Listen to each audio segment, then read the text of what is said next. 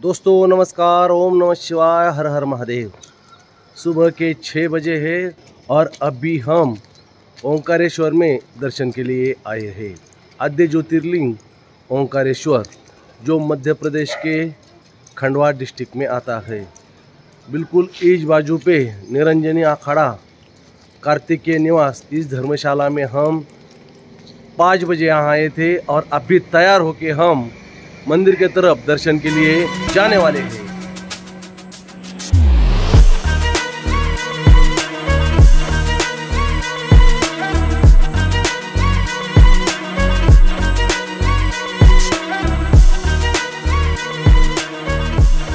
दोस्तों, अभी हम ओंकारेश्वर में भगवान भोले के दर्शन के लिए आए हैं। और अभी हम जो नर्मदा रिवर है उसके तट पर खड़े हैं। इस बाजू पे ओंकारेश्वर का मंदिर है और इस बाजू पे है ममलेश्वर बीच, जो अभी बंद है मरम्मत के लिए। तो इस बाजू के जो पुराने वाले पुल से हम दर्शन के लिए जाने वाले हैं। वैसे तो बिल्कुल सुबह का समय है तो बहुत सारे श्रद्धालु यहाँ नहा रहे हैं और बाद में वो भगवान भोले का दर्शन करेंगे। तो अभी हम आपको जो दूसरी जगह है मतलब पावर प्लांट हमने आपको दिखाया और आप चलेंगे मुंडेश्वर महादेव के मंदिर में दर्शन के लिए, हर हर महादेव। ये नर्मदा रिवर है, ओंकारेश्वर की, जो पूरे विश्व में, इंडिया में नर्मदा परिक्रमा का भी एक अलग महत्व होता है। अभी तो मुझे मौका मिला नहीं है। जब भी कभी नर्मदा परिक्रमा में करूँगा तो हमारे चैनल के माध्यम से आपको पूरी परिक्रमा में हम शामिल करेंगे। तो आगे वाले हिस्से में अब भी हमने स्नान कर लिया है। आगे देखिए, सूरज भगवान, जो इस दिन की हमें दर्शन देने वाले हैं, बिल्कुल सुबह सुबह। तो चलिए, जो मेरे पीछे है ममलेश्वर बीच, वहीं से हम दर्शन के लिए चलेंगे। दर्शन के लिए जो भी श्रद्धालु आते हैं, उनके लिए बोटिंग की सवारी भी यहाँ है। यहाँ उनके रेट हम आपको दिखा रहे हैं। जो यात्रा करते समय आपके काम आ सकते हैं।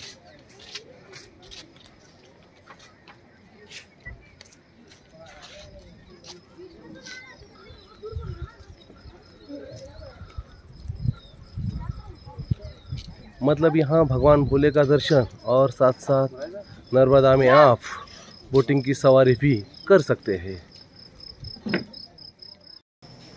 छः बजकर पंद्रह मिनट हुए हैं। अब भी श्रद्धालु मंदिर के तरफ़ आने शुरू हुए नहीं हैं, इसलिए स्टोर्स जो फूल के हो, प्रसाद के हो अभी खुले नहीं हैं। और हम बिल्कुल सुबह मंदिर में जाके दर्शन करना चाहेंगे।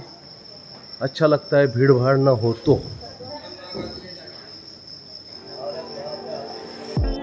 हम मंदिर के तरफ़ पुराने वाले ब्रिज से आगे बढ़ेंगे।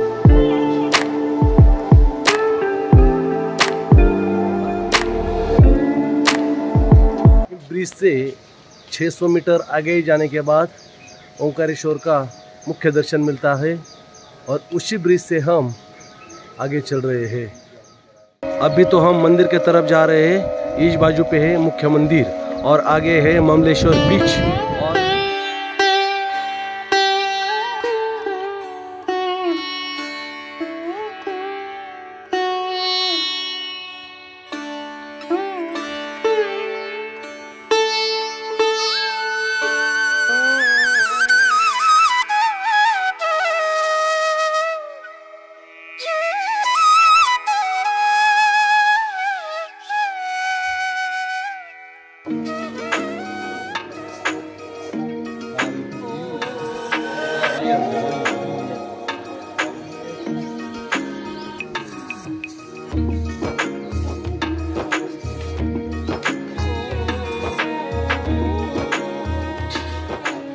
यही एकमात्र तीर्थ स्थल है, ज्योतिर्लिंग। का यहाँ दोन लिंगों का दर्शन होने के बाद दर्शन पूरा माना जाता है।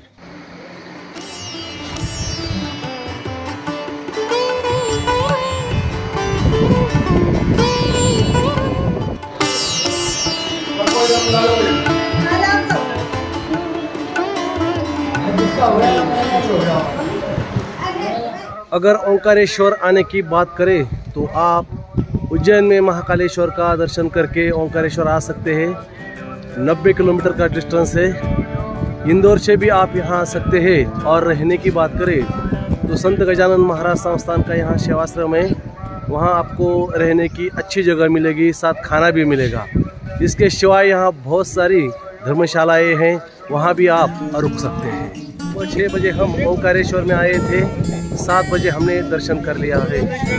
तो आज का ये हमारा ब्लॉग आपको कैसा लगा इसके बारे में कमेंट्स ज़रूर दीजिए। और यहाँ हम रुकते हैं। हर हर महादेव